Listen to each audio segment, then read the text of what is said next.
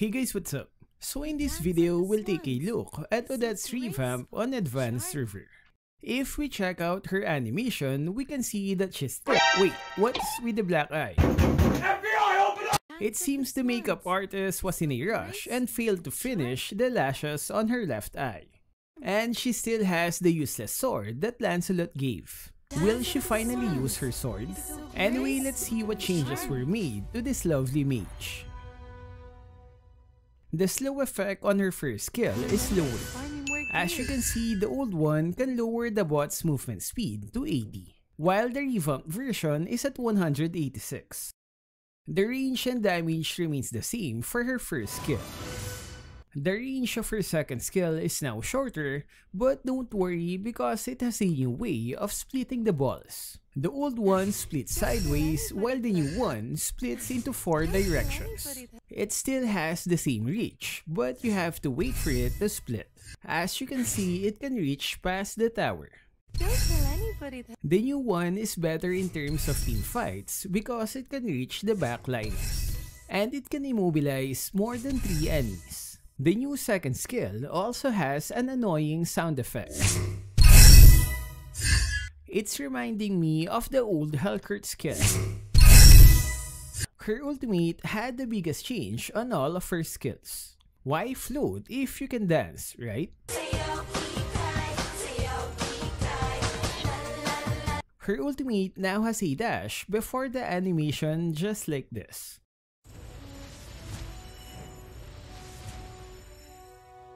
If we test the damage, we can see that the new one is lower.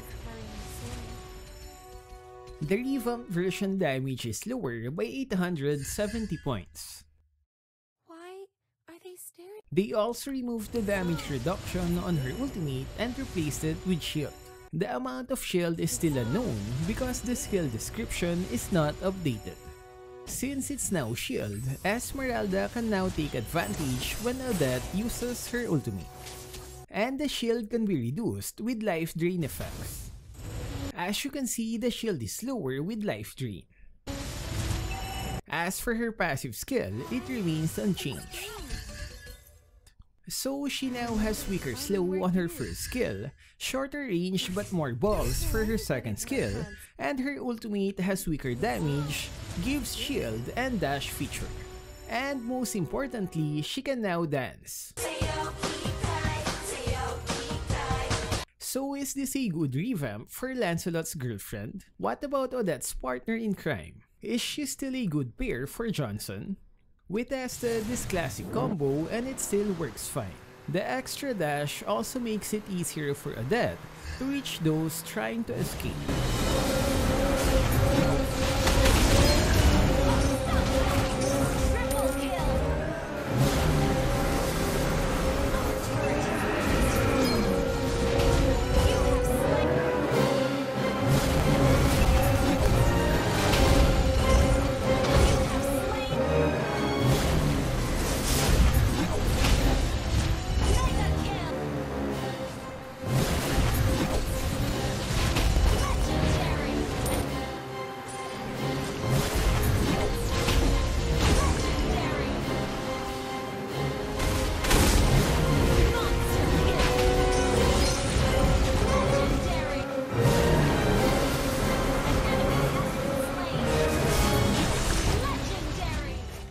So what can you say about Odette's revamp?